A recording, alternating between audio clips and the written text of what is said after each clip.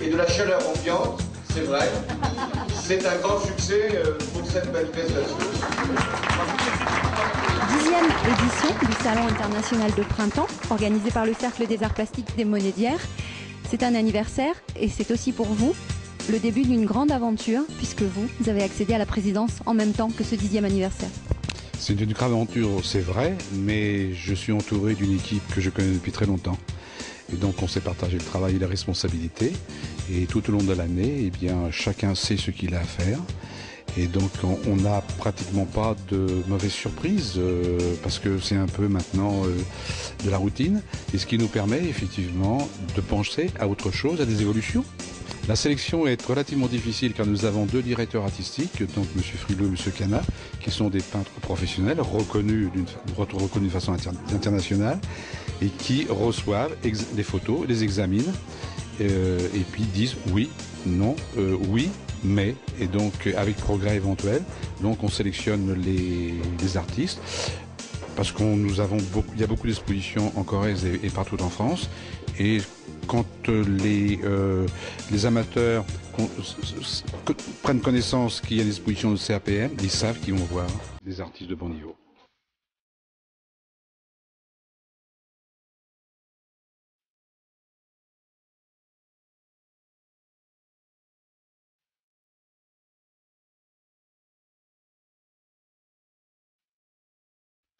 J'ai eu la chance de rencontrer Didier Fridelou dans une exposition à Limoges, dans laquelle nous étions tous les deux invités d'honneur, lui en tant que peintre et moi sculpteur. Euh, nous avons correspondu pendant un certain temps euh, au, cours des différentes expositions. Et puis on a la chance de se retrouver aujourd'hui ici. Il, a pris, il a pris contact avec moi et, euh, et je suis vraiment ravie de participer à cette exposition. Écoutez, je trouve ça formidable. C'est avant tout une grande convivialité. C'est beaucoup de rencontres avec des gens extrêmement sympathiques. Et euh, je trouve que beaucoup de personnes pouvaient organiser des expositions comme celle-là. Euh, les choses iraient certainement mieux dans, dans le domaine artistique.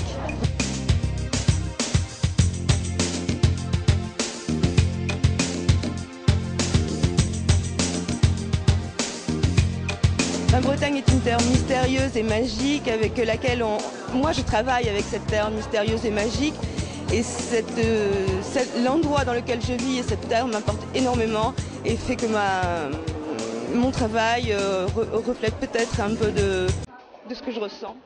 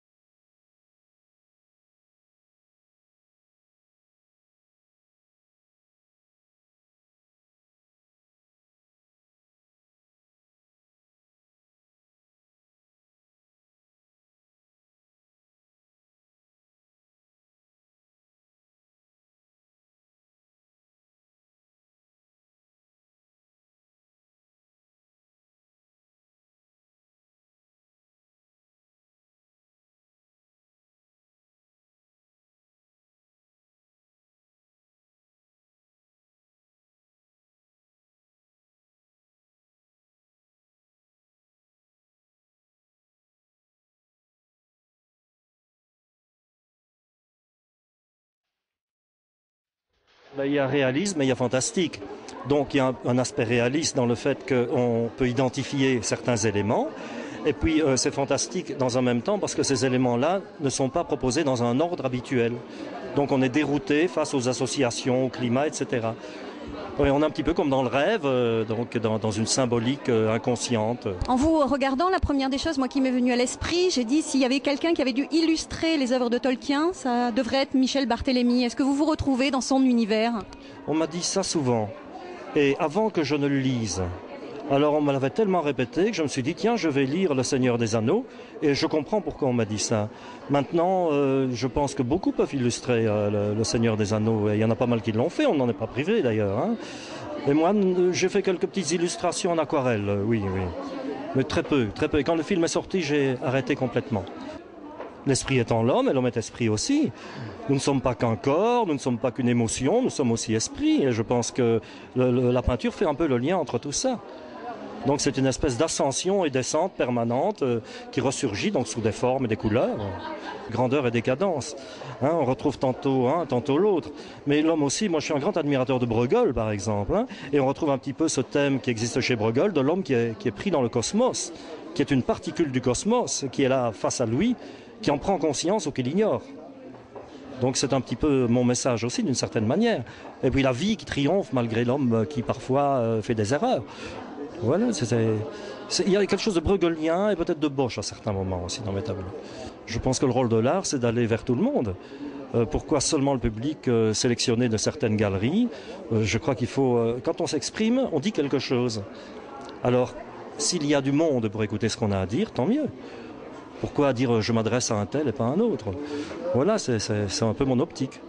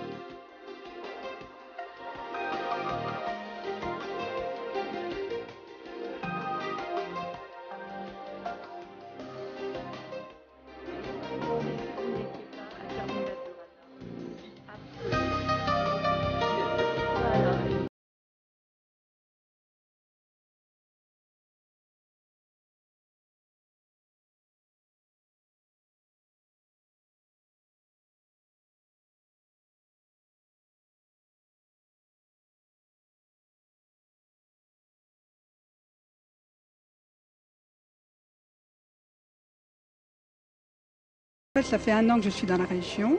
Je viens de la région lyonnaise où j'ai vécu pendant 15 ans et exposé là-bas. Et depuis un an, je suis dans le Limousin et euh, on m'avait parlé du Cercle des arts plastiques des Monédières pour euh, éventuellement me présenter pour euh, exposer. Donc j'ai envoyé un dossier qui a été accepté et puis bon, ben, je me suis lancée pour exposer pour cette première exposition à Masseret. Voilà, donc j'étais très contente. C'était des paysages qui me parlent. En fait, j'aime beaucoup la nature et euh, je peins des, paysages qui m'ont ému, euh, où la lumière m'a euh, intéressée, m'a apporté quelque chose, où j'ai été sensible à la beauté du lieu. J'aime ce qui est beau. je suis désolée, mais j'aime ce qui est beau et quand un paysage me plaît, j'ai un besoin, je dirais, viscéral de le traduire sur le papier. Et une fois que c'est fait, j'ai l'impression d'être apaisée. Euh, ce qui me tient à cœur, c'est surtout les, tous les beaux villages euh, qu'il y a partout en France. Et en, France, on est riche pour ça.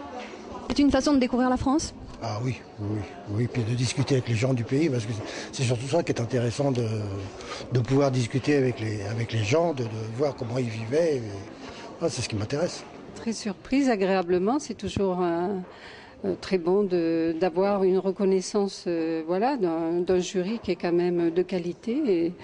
et c'est c'est plaisant, ça, donne envie de continuer. quoi. J'ai choisi dans mon stock personnel et j'aime bien travailler par thème et là euh, j'ai pris le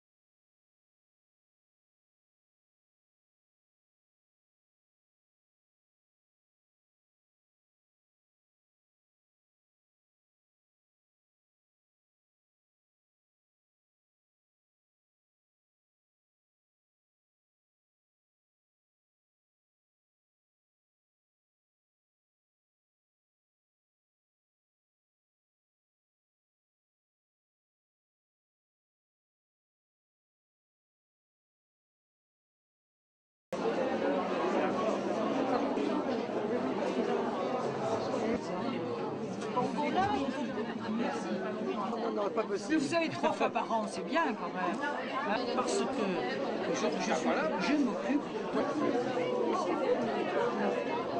Murdoch début de la muscadière. Regarde d'où là-bas. Murdoch